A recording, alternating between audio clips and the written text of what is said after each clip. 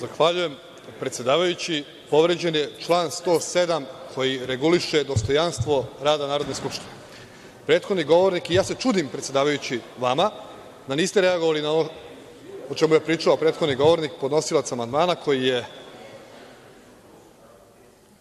doveo u kontekst predsednika Republike sa „Sabljom“, ali sa „Sabljom“ koju je on sproveo 2003. godine, nažalost svih građana Srbije, i još dao sebi za pravo da spomene kontekst te „Sablje“ kao da je to nešto što je bilo pozitivno, zaboravljajući da je tada uhapšen veliki broj građana Srbije, preko 10.000 ljudi, potpuno neosnovano, u strahovladi, u teroru koji su on, dok je na nesreću svih građana nesrećnim slučajem bio premijer ove zemlje, ponavljam na nesreću, pa dok je sprovodio teror i strahovladu, gde su pohapšene hiljade i hiljade građana neosnovano, dakle, treba da se postavi pitanje koliko je procesuirano tih lica koja su bila uhapšena u „Sablji“, a koliko je država posle morala da izdvoji novca za obeštećenje svih tih ljudi.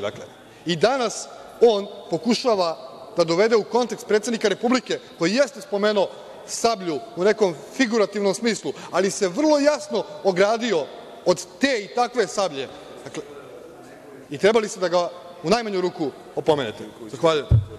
Hvala, kolega Markoviću. Kao što ste mogli da vidite, ja sam i